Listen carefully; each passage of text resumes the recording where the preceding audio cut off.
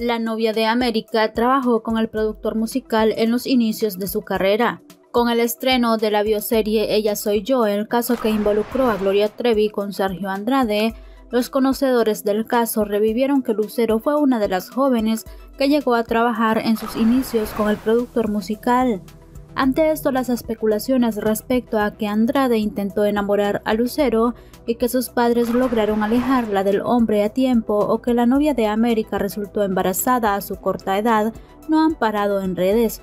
Sin embargo, entre todas estas especulaciones, también salió a la luz una antigua entrevista en donde la intérprete contó cómo su familia descubrió las malas intenciones del ex manager de la Trevi.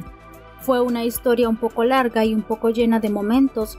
Si tuvo que ver mi mamá, tenía ciertas sospechas de cosas. Mi hermano escuchó una llamada que él estaba hablando conmigo. Se asustó de oír esa voz y planeaciones a futuro de cuando tú seas mayor de edad vamos a adueñarnos del mundo. Mi hermano muy joven de 16 años dijo, esto me está dando miedo. Fue cuando le dijo a mi mamá. Mi mamá dijo, con razón Lucero está rara, con una onda complicada.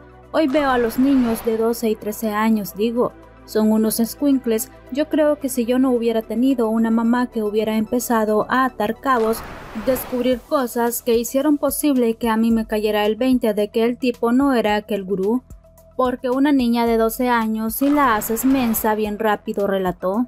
Lucero dejó en claro que ella no quería ser relacionada ni en lo más mínimo con ese sujeto, no tiene nada que ver que el tipo haya tenido que ver con mi música en mis comienzos, pero de esos discos ni los recuerdos. No me interesa ni gastar el tiempo en un ser como ese, relató la cantante.